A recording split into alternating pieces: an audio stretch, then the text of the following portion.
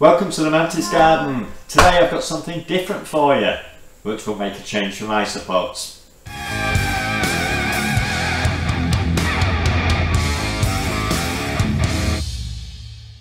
Yes, completely different, something I don't often do. I have Mantis. And it's from Michael, at Mantis NI. So, I know it's going to be good.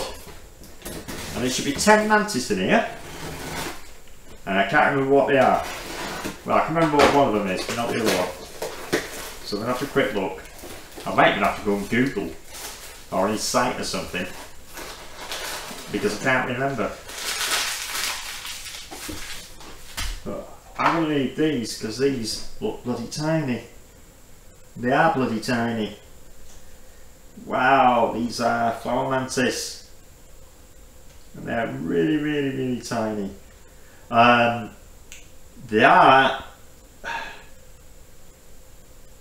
Nope, can't remember. I'm going to put the name here because I can't remember what I ordered. Uh, they're one of the flower mantis. They're not spiny flower. They're not orchids.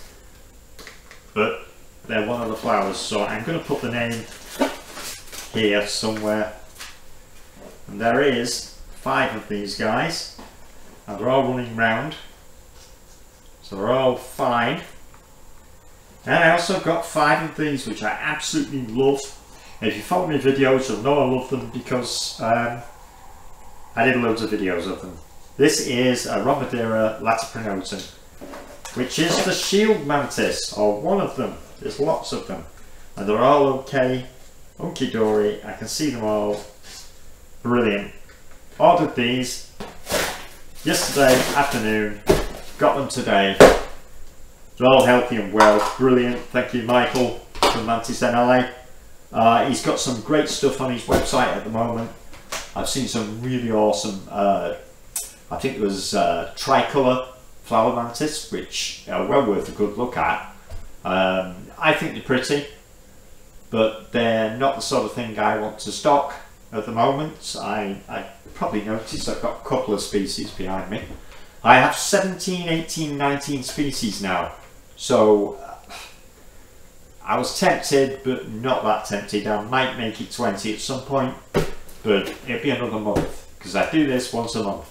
So, little breeding blocks of various species. If you can think of any species you think I should stock, stick it down in the comments below because uh, I'd like to see what people really, really want. Now let's have a look a bit closer at these guys. And this is a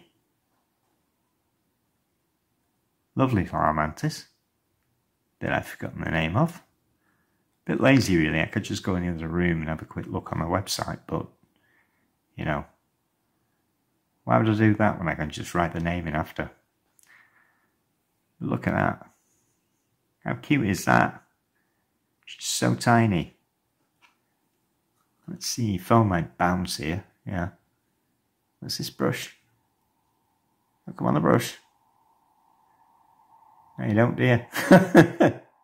oh well. I'm going to call this a Kardashian shot because all you can see is her ass. There you go. Let's see Kim do that, eh? You just put a back foot in her mouth. Look at that. I knew she's pretty good at putting her foot in her mouth. Off she goes again. Okay, this is the Rhombodera latipronotum. It just means wide shield the shoulders. That's what the Latin actually translates to. And uh, I love these guys. Do you get in the center of the shot? They usually, there we go. Very, uh, look, at that age, it's attacking the brush. There you have it. When they get bigger, they get a bit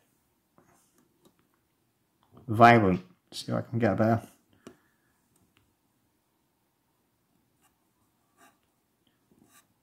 There you go, better focus. Very pretty mantis. They're big, they're green, they're mean. Let's just see. Come on, turn around. No. But hopefully, these guys will grow up to be nice and big and strong. I can make them and uh, have them available. I'll have a website soon. Check these out. How cute was those, eh? Them uh, flower mantis, whatever they are, can't remember. Uh, there again. Are just so cute, it's unbelievable. They're so tiny at the moment but we're going to grow them out. Uh, hopefully I'll have them ready later in the year, hopefully for Sheffield in February. So if you haven't got a ticket for uh, not a ticket, but if you not know about the Great Ant exhibition in February, it's in Sheffield on February the 11th. Uh, and I have tables there, so if you want to come and say hi, come and say hi. These Latipronotum is also obviously awesome because I absolutely adore them things. And I can't wait to uh, grow them on. My last one unfortunately died gravid before she laid an ooth. Otherwise I'd have had my own little pitter patter of feet of Latipronotums.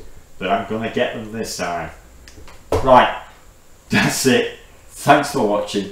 I'll see you next time. This is the Mantis Garden signing off.